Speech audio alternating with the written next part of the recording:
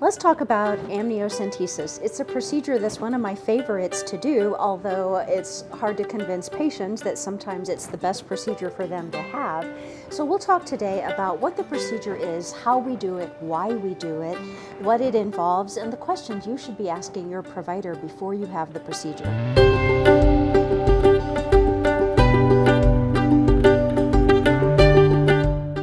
A lot fewer amnios these days because NIPT or non-invasive prenatal testing has become so popular and NIPT is a very valuable screening test but it's a screening test not a diagnostic procedure and it screens for the most common chromosome abnormalities and a few genetic conditions. Amniocentesis is a diagnostic procedure. It looks at every single chromosome and it can look for hundreds of different genetic abnormalities and things like viral and bacterial infections, so amniocentesis definitely still has a place in our toolbox. The first and most important reason that we do amniocentesis is to look for genetic and chromosome abnormalities. And these can take the form of extra chromosomes, missing chromosomes, chromosome rearrangements or translocations, genetic conditions. Maybe there's a family history in your family of conditions like sickle cell disease or cystic fibrosis.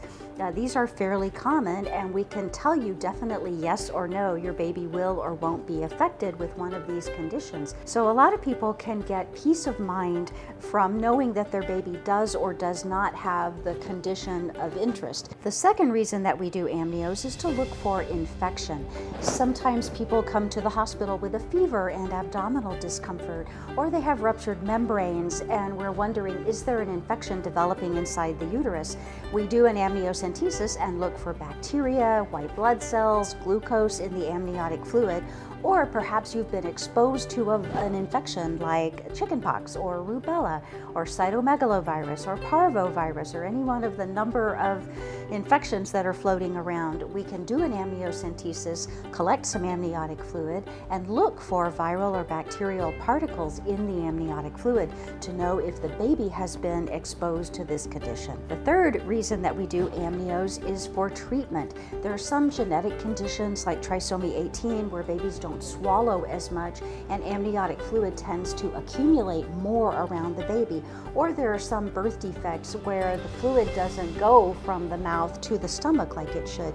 And these conditions result in a buildup of amniotic fluid. And sometimes it gets to the point where moms can't even get a big deep breath or sleep at night or eat more than two bites of a meal before they're just so uncomfortable that it's hard for them to get through the day.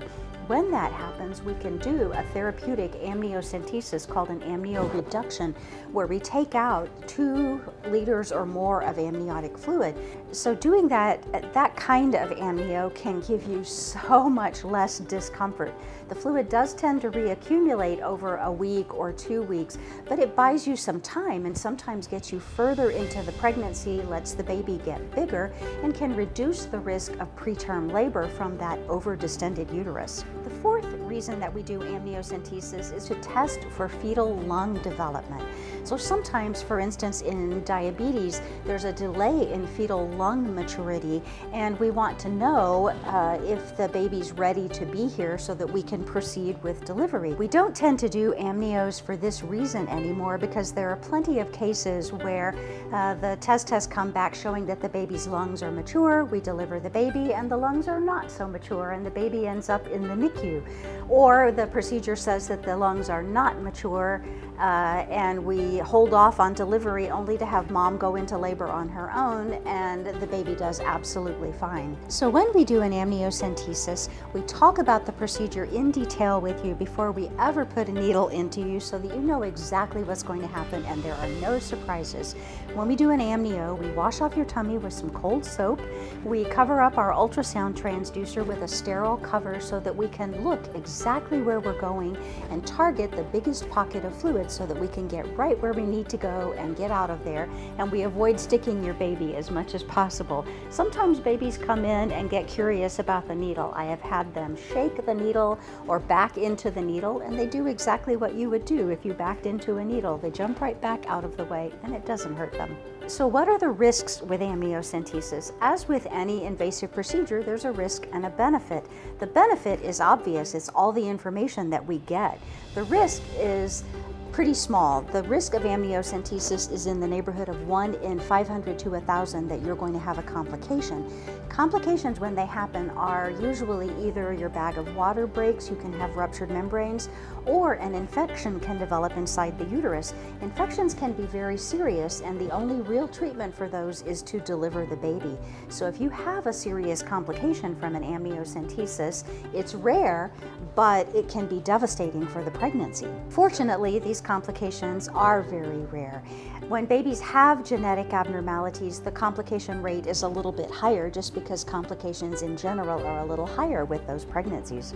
Amniocentesis is not for everyone, but if you're a girl who likes information like I do, there's nothing better than amniocentesis to give you that. There is another procedure called CVS or chorionic villus sampling which gets you some of the same information and we'll talk about that in another video. You need to talk with your provider about what specific information that you want because we can tell so many things with amniocentesis, including sequencing the entire genome, and we're discovering small variations that likely have no clinical consequences, but I don't want to cause you more worry than reassurance with the procedure. So before you have an amniocentesis, talk through in detail with your provider exactly what information you want so that you don't get extra information that's just going to cause you more worry.